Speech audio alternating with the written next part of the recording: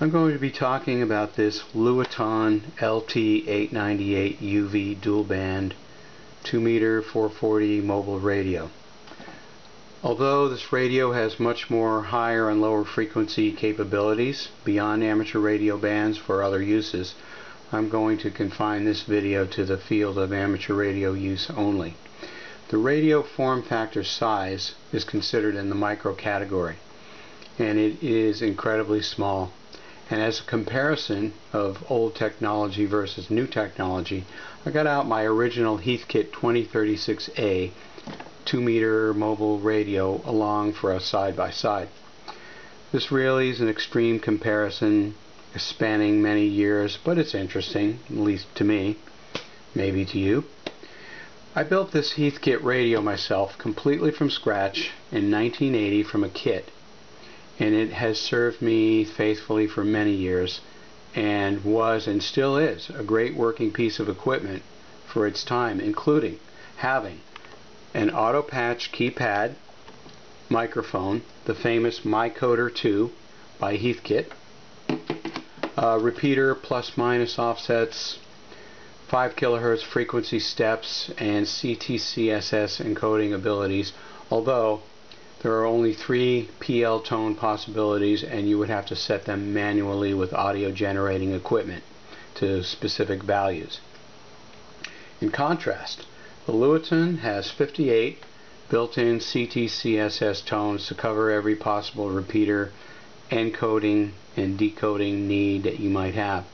Uh, this Heathkit runs full-time 10 watts on transmit requiring 2.6 amps while the Luiton runs the same 10 watts requiring only 1.8 amps. The Luiton also runs low power transmit of 4 watts requiring only 1 amp. The Heathkit's microphone cable is permanently connected to the front of the radio as you can see while the Luiton's microphone cord quickly unclips via a standard RJ45 connector same as an Ethernet connector for a computer. This huge cabinet on the Heathkit is maxed out on the inside, stuffed, and doesn't even have room for a built-in speaker, while this teeny tiny Luiton has a top-mounted internal speaker with 400 milliwatts driving it. And it can get loud. Uh, the Heathkit covers 2 meters FM only from 143.5 to 148.5 megahertz requiring physical dialing on rotary switches every time you want to change frequency. While the Luiton covers 136 to 174 megahertz, VHF FM, and 400 to 470 megahertz UHF FM, and has 199 channel possibilities at the push of a button. The Luiton also has CTCSS and DTMF encoding and decoding capabilities.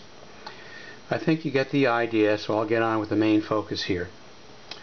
The Luiton's multifunctional DTMF keypad microphone allows you to operate over 75% of the most necessary and important radio functions, but bear in mind you will have to commit a lot of these functions to your memory, and I'm talking about brain memory, particularly the ABCD buttons here on the microphone.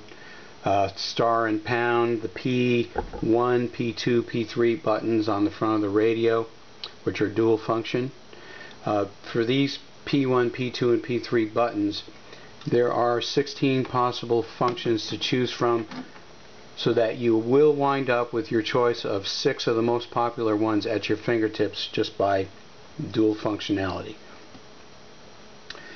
Uh, for the car usage, I added a slightly larger mobile speaker which helps in a vehicle environment. The mind-blowing small size of this radio allows for mounting or hiding it in some really obscure, convenient, or small places in a vehicle.